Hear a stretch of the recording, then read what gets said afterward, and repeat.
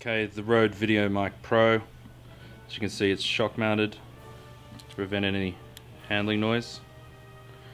On the rear, we've got two switches. The top one is the power, so it's off and then on. Then across this bent line is the high pass filter. That's going to cut out any signals below 80 hertz. Um, so that's the low end rumble from aircraft, uh, traffic, air conditioning. So you want to engage that where any of those audio sources are possible. Um, it also prevents camera noise. Here we have gain control.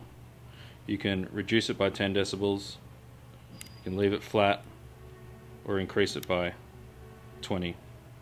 Scenarios where you'd want to reduce it is when you're shooting live music, for example, at a very loud level.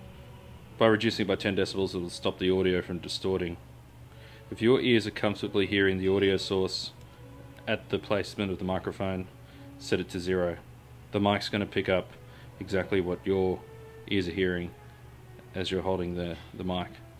And then if the audio source um, is a bit low, you can increase it by 20 decibels. We've got a Kevlar reinforced cable. If you're going to be shooting outdoors, you want to use the dead cat. And the way that works, it slides straight over the foam windshield. They're nice and tight. And then velcro up at the top. So it's going to stop any wind noise when you're shooting outdoors. It's powered via a 9 volt battery. That'll give you 70 hours of life. Not all scenarios are going to have the microphone on top of the camera or on top of the iPhone. So what you can do then is by utilizing 10 foot extension cable, the VC1 and a pistol grip allowing you to take the mic off camera and closer to your source. Plug straight into the iPhone using the TRS to TRRS adapter.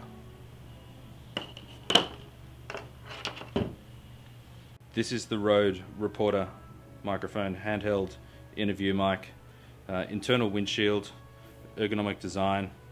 It's omnidirectional, so it's going to pick up in a circular pattern around the microphone. It's dynamic, so it doesn't require power. And you can get that to go straight into the iPhone using this XLR to TRRS adapter.